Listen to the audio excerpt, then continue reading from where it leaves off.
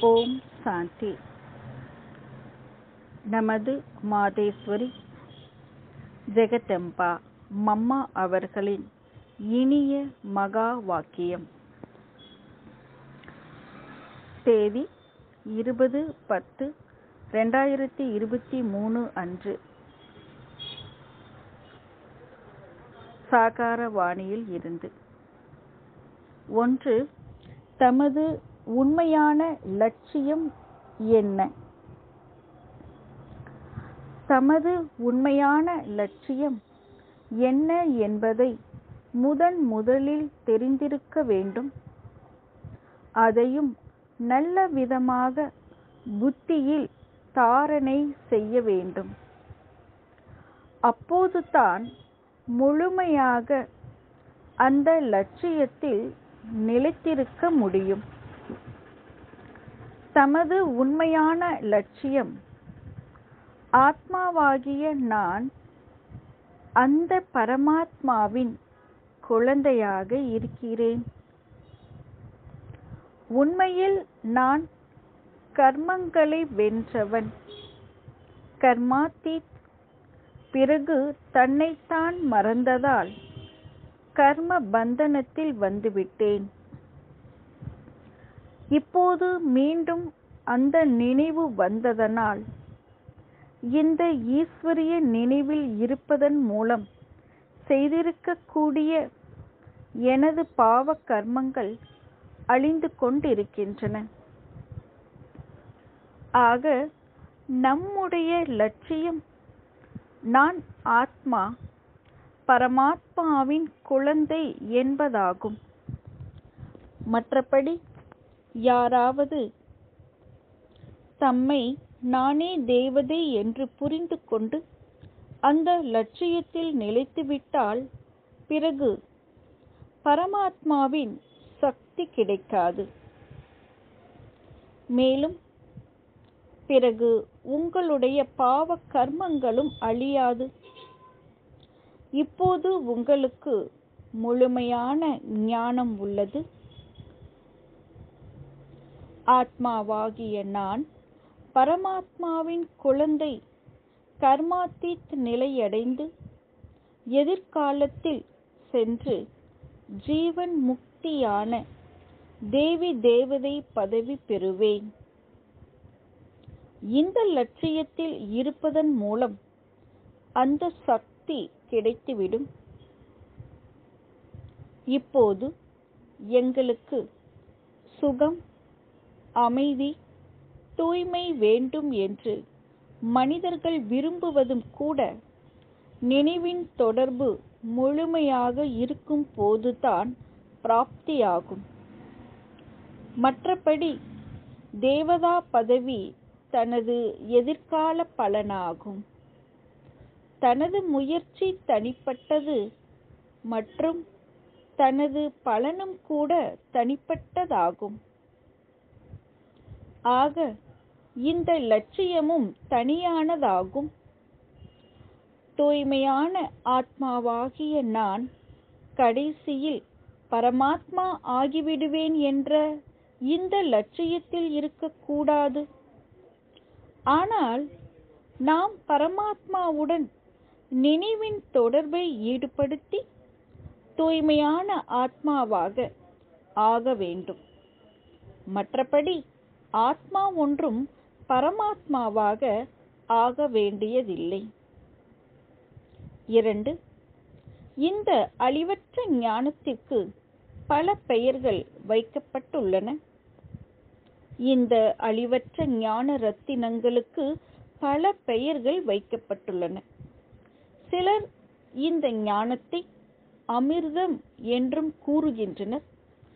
சிலர் ஞானத்தை மை என்றும் கூறுகின்றனர்.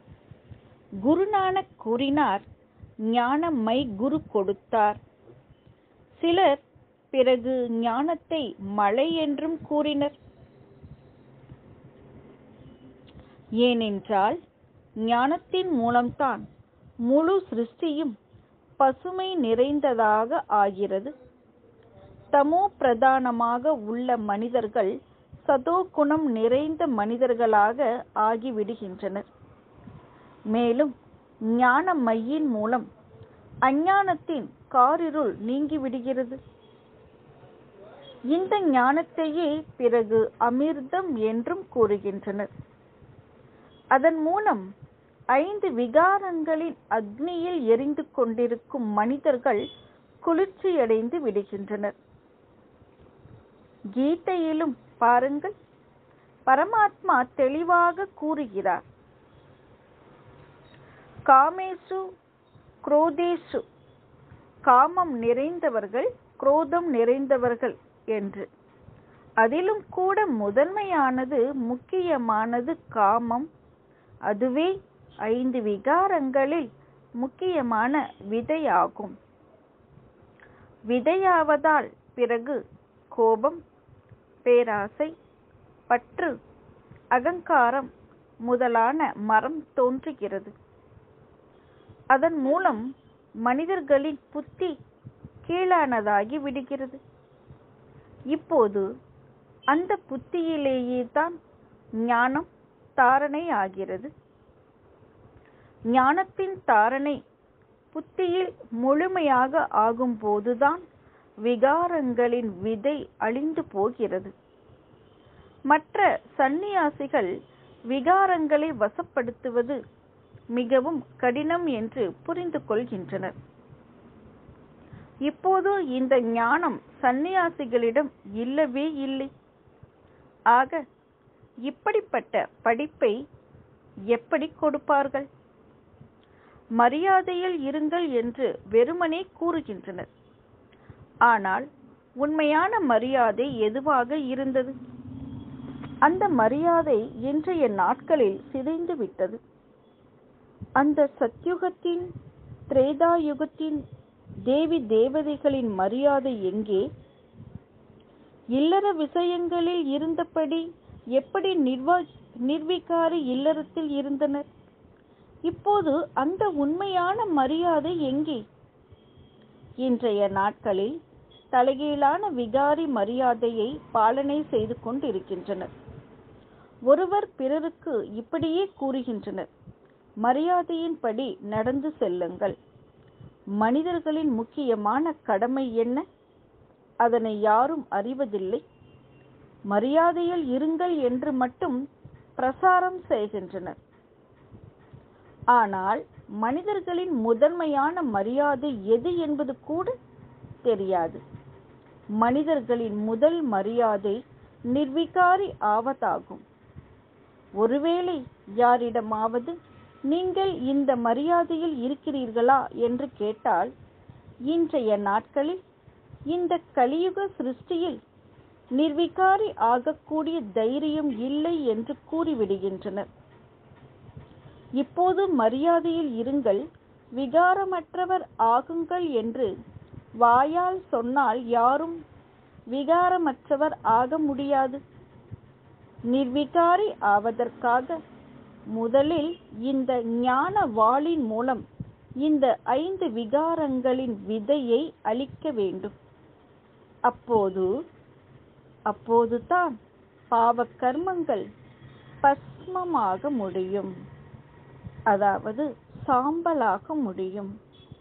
நல்லது ஓம் சாந்தி ஓம் சாந்தி ஓம் சாந்தி